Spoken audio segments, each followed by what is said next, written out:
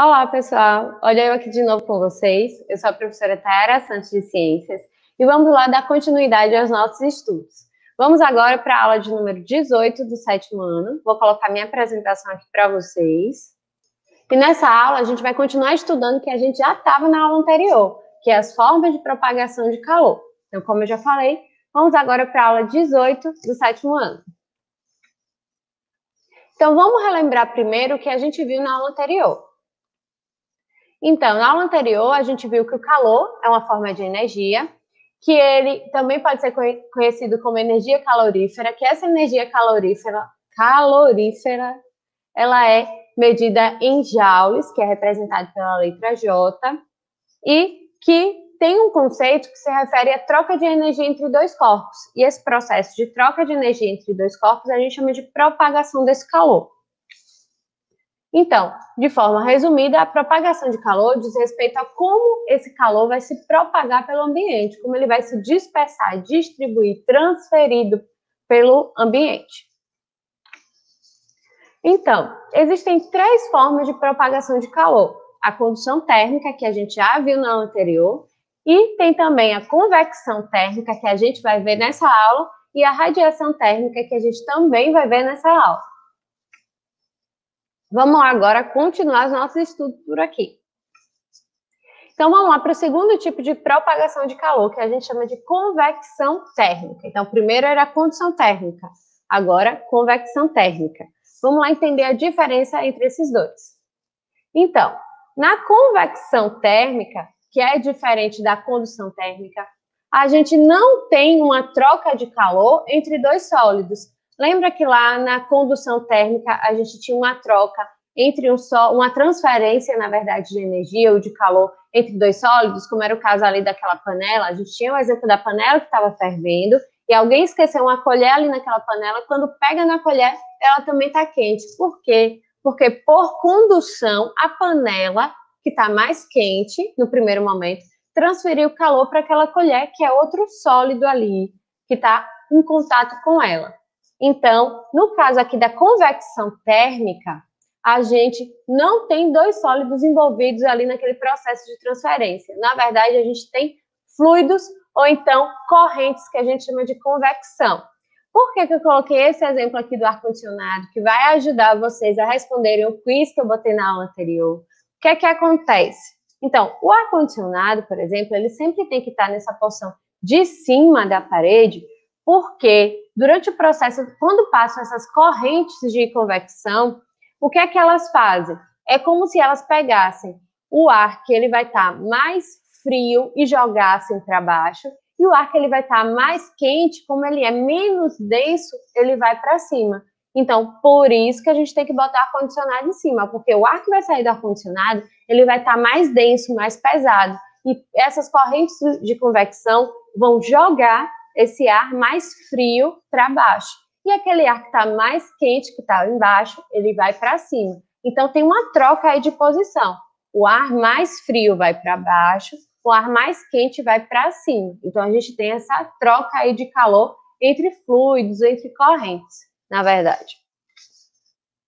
Então, basicamente, a, a convecção ela vai acontecer das seguintes formas. Ela pode acontecer por difusão, que é um movimento que ele é aleatório e as partículas vão fazendo isso individualmente nos fluidos. Essa, esse processo de convecção também pode acontecer pelo movimento que ocorre nas correntes ascendentes de um fluido. Pode ser uma, uma água fervendo, por exemplo. Quando a gente tem ali a água fervendo, borbulhando. Ela está borbulhando por quê? Porque está passando uma corrente ali de convecção que está jogando aquela água que está mais quente, que está embaixo, ela vai para cima, e a água que está mais fria, que está em cima, ela vai para baixo. Então, ali, na água quente, na água esquentando na panela, a gente também tem um exemplo de convecção acontecendo. E o último é, tipo de convecção, né? A gente pode dizer que é pelo movimento de moléculas mais quentes que vão ter mais energia dentro de um sistema. Então, quando a gente tem ali numa mistura, por exemplo, uma substância que ela está muito quente, então ela, se ela está muito quente, ela tem muita energia, ela vai ter a tendência de distribuir essa energia para outra substância que não está tão quente assim. E as duas depois vão se igualar, vão conseguir ficar basicamente na mesma temperatura ali naquela mistura. E agora vamos para o último tipo de propagação de calor, que a gente chama de radiação térmica. Já coloquei uma dica aqui para vocês. Coloquei um solzinho, a, a minha Bitmoji aqui, né, minha bonequinha que está recebendo essa radiação solar. Isso aí já está querendo dizer alguma coisa para a gente. Então, apesar da radiação térmica ser um último modelo a ser citado, em termos de propagação de calor, ela vai influenciar diretamente tanto no processo de convecção quanto no processo de condução térmica. Afinal, corpos em qualquer temperatura podem transmitir ondas eletromagnéticas ou radiação. O Sol, ele está ali emitindo radiação luminosa, né, para as plantas que utilizam essa radiação, para nós, para nos manter aquecidos aqui no planeta, mas existem outros instrumentos que também emitem radiação, que não vai ser dessa forma tão natural como o Sol, como a gente vai ver agora. Então, esse processo de radiação, esse processo de radiação térmica aqui, tá errado, tá, gente? Está escrito condução térmica, mas na verdade é radiação térmica. Então, como é que isso acontece? Então, a radiação térmica, ela consiste na propagação de calor que depende da temper temperatura atual do corpo. Assim, quanto maior a temperatura, maior vai ser a frequência e a intensidade de energia que será irradiada. Essas ondas podem se apresentar através de, primeiro, luz visível, depois por meio dos raios-x, né, aqueles que a gente utiliza para fazer os exames, para ver como é que a gente está ali por dentro. É, também pode ser através dos raios que a gente chama de ultravioleta e também pelos raios que a gente chama de infravermelho. Eu trouxe aqui para vocês uma imagem de um equipamento que ele emite essa radiação infravermelha. E o que é que ele está fazendo aqui? Ó, essas cores aqui diferentes dizem respeito à quantidade de energia que tem ali. Então, quanto mais energia, mais escuro vai ficar. Esse instrumento aqui ele é muito utilizado para nos casos de investigação, por exemplo, dos Estados Unidos, quando eles vão é, procurar algum criminoso para saber se, se aquela pessoa está dentro de casa ou não. Eles levam esse equipamento aqui, que é o de infravermelho, e eles conseguem saber quanto de calor, de energia tem ali naquela casa. Está tudo fechado, mas ele consegue, ó, como vocês podem ver aqui nesse instrumento. Se tiver uma pessoa, vai, vai aparecer aqui uma quantidade de energia muito alta, né? Porque tem um, um ser vivo ali dentro, a quantidade de energia alta, e vai estar, tá, vai aparecer aqui. A pessoa vai saber, ah, essa casa está vazia, ou então, ah, essa casa tem tantas pessoas ali dentro. Estou conseguindo ver por esse equipamento que a gente chama de infravermelho. Então, aqui estão só para vocês conseguirem compreender do outro lado como é que a gente utiliza esse conhecimento, né? Como é que a gente essa propagação ela é utilizada no nosso dia a dia. Esse conhecimento acerca da propagação do calor é utilizado no nosso dia a dia. Agora, vamos lá para o nosso resuminho básico. Então, para ajudar a gente nesse resumo, eu vou colocar esse videozinho aqui para vocês e depois a gente vai comentar mais um pouquinho sobre ele. Fala, galera. Aqui é o professor Tiago e hoje falaremos sobre processos de propagação do calor. Propagação está relacionada à disseminação ou espalhamento do calor. Isso pode ocorrer através da própria estrutura do objeto ou de um objeto para outro. De forma espontânea, a transferência de calor sempre ocorre de um local com maior temperatura para outro com menor temperatura, e se processa de três maneiras básicas: por condução, por convecção ou por radiação. É muito comum estarmos mexendo uma panela no fogo quando de repente começamos a queimar a mão com a própria colher. O calor transfere-se das chamas para a panela e se propaga ao longo de toda a colher até chegar à nossa mão. O fogo faz as moléculas que estão em contato com a chama vibrarem cada vez mais intensamente. Por consequência, esses átomos e alguns elétrons livres colidem com seus vizinhos. Em um processo que ocorre em cadeia, os elétrons livres, capazes de se mover dentro do metal, são chacoalhados e transferem energia às moléculas mais lentas. Dessa forma, a propagação do calor se manifesta na energia térmica das moléculas, que vão se aquecendo ao longo do material. Como o calor é conduzido por meio das colisões entre átomos e elétrons, esse processo é chamado de condução. Nele, a energia é transferida diretamente entre moléculas vizinhas, de modo que não há deslocamento das mesmas. A eficiência no processo de condução depende das ligações e da estrutura atômica ou molecular do material por onde o calor deve ser conduzido. Os metais, em geral, possuem elétrons fracamente ligados na parte mais externa da sua eletrosfera. Por conta disso, esses elétrons encontram-se com mais liberdade para transportar a energia por meio de colisões. Dessa forma, os metais são ótimos condutores de calor. Por outro lado, alguns materiais possuem os elétrons mais externos aos átomos mais fortemente ligados. Por conta disso, não transmitem calor de forma eficaz e são conhecidos como isolantes térmicos. Esses materiais são utilizados para dificultar a passagem de calor ao diminuir a sua taxa de transmissão, que ocorre mais gradualmente. Dessa forma, isolamento térmico apenas torna mais lenta a transferência de calor. Caixas de isopor, por exemplo, são utilizadas para manter a temperatura de bebidas geladas, dificultando a entrada do calor vindo do ambiente. Cobertores são outro exemplo de isolante térmico. A maioria dos líquidos e dos gases são maus condutores de calor. Isso ocorre porque nesses estados da matéria, os átomos estão mais espaçados, dificultando as colisões que permitem a condução. O ar, em especial, é um péssimo condutor de calor. A taxa de transmissão de calor através de um material é chamada de fluxo de calor. Essa taxa representa a quantidade de calor que passa de uma face a outra de um condutor em determinado tempo e é representada pela letra grega φ maiúsculo. Matematicamente, φ é igual à quantidade de calor, que iremos chamar de Q, sobre o tempo. Lembrando que calor é um tipo de energia, sua unidade é o joule. Assim, o fluxo de calor é dado em joule por segundo, que devemos lembrar é igual a watt. Um fluxo de calor igual a 30 watts significa que 30 joules de calor atravessam um condutor a cada segundo. Então, com essa última parte do vídeo, vocês não precisam se preocupar, porque ainda não está na hora de vocês aprenderem a calcular como é que a gente como é que a gente faz esses cálculos de transferência de energia. Mas tem algumas coisas interessantes do vídeo que eu quero conversar com vocês. Primeiro, ele mostrou aí para gente o que são os isolantes térmicos, né? O que são esses tais isolantes térmicos? Isolantes térmicos são materiais que são utilizados para dificultar a passagem desse calor. Como assim? Por exemplo, quando a gente vai cozinhar, a gente está ali, é melhor a gente pegar uma, uma, colher que seja de madeira ou uma colher de metal? E aí, o que é que vocês acham? Então, depende do seu objetivo ali naquele momento.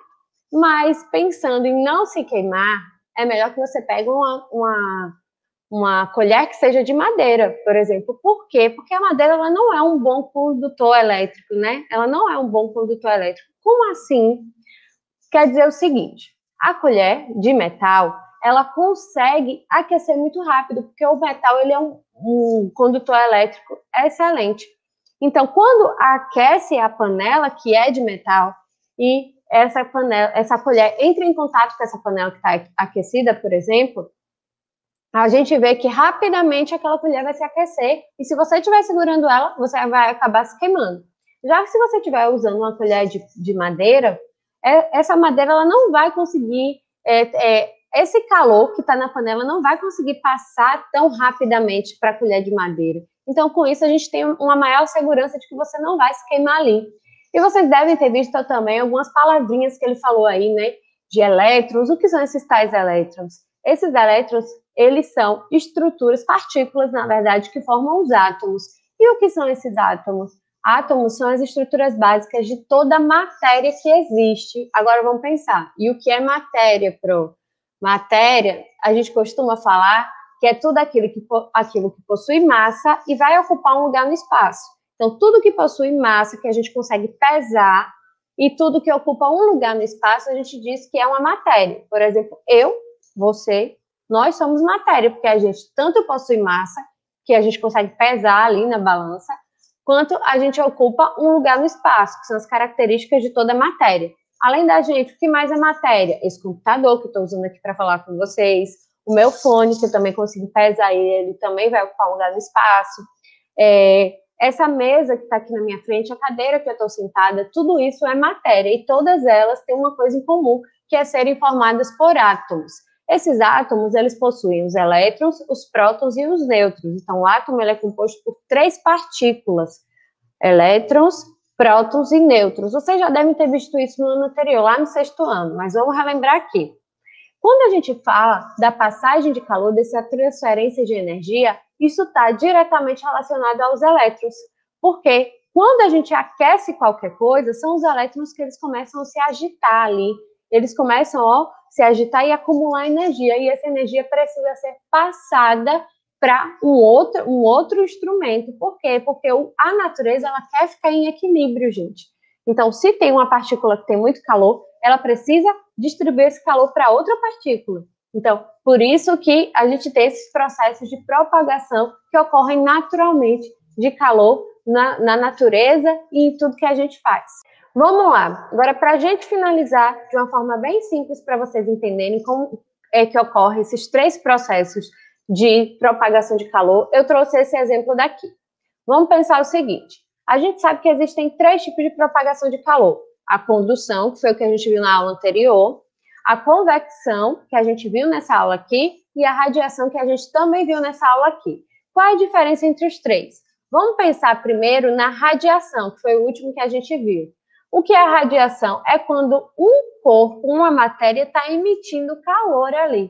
Nesse caso, a gente tem um fogão. Nesse caso aqui, a gente não está vendo a chama, vamos pressupor que é um fogão elétrico aqui, que tem a chama, mas poderia ser um fogão com chama aqui, que estaria propagando essa radiação, estaria emitindo essa radiação. Então, o próprio fogo ele está transferindo ali, propagando calor por meio da radiação. Então, o fogo aqui na panela é um exemplo de radiação. E aqui a gente tem um exemplo de convecção. Quem lembra o que é convecção? Convecção é quando a gente tem essas trocas aí, dessas correntes de convecção. Como assim? Nesse caso aqui, essa panela está cheia de água. E o que é que está acontecendo? Essa chama está emitindo radiação que está aquecendo, aquecendo essa panela essa panela está sendo aquecida primeiro nessa parte de baixo, o que faz com que a água que está aqui embaixo esteja mais quente. Para promover um equilíbrio aqui, essa água mais quente que está embaixo, como ela é menos densa, ela vai ter a tendência de subir. Então, essa água que está quente aqui embaixo, ela vai subir, e a água que está mais fria aqui em cima, ela tem a tendência de descer. É a mesma coisa que a gente viu lá no ar-condicionado. Por que tem que colocar o ar-condicionado em cima não pode deixar ar-condicionado no chão, justamente por causa dessas correntes de convecção que fazem com que aquele ar frio que o ar-condicionado libera, como ele é mais pesado, mais denso, ele vá para baixo, e o ar mais quente que está embaixo, ele tende a subir. E, por fim, a, a gente tem um exemplo de condução acontecendo aqui. Como assim condução? Olha só o que está acontecendo. A radiação está batendo aqui nessa panela, aquecendo ela. A convecção está acontecendo aqui quando os átomos das, dessas moléculas que estão mais aqui em cima de água estão trocando de lugar com as que estão aqui embaixo, então elas estão trocando calor entre elas. E essa panela que está quente e está com água quente, ela começa a esquentar esse cabo, né? Ela começa a transferir essa energia, esse calor para o cabo. E quando a gente pega nesse cabo, a gente está pegando ali um pouquinho dessa energia, desse calor por condução. Então, por condução, o calor que estava aqui na panela é transferido para o cabo, e quando a gente pega nesse cabo, a gente acaba recebendo também esse calor. Então, gente, hoje a gente aprendeu muita coisa, né? Foi muito aprendizado hoje. E por hoje, nós aqui vamos parar por aqui, mas agora vocês vão continuar com os professores de vocês, da escola de vocês, vão poder tirar dúvidas com eles, fazer as atividades, continuar estudando aí do outro lado. E não se preocupem, eu vou morrer de saudade de vocês, mas semana que vem a gente tem outro encontro marcado aqui, espero vocês. Então, até a próxima aula, pessoal. Vou estar aqui semana que vem aguardando vocês. Tchau, tchau!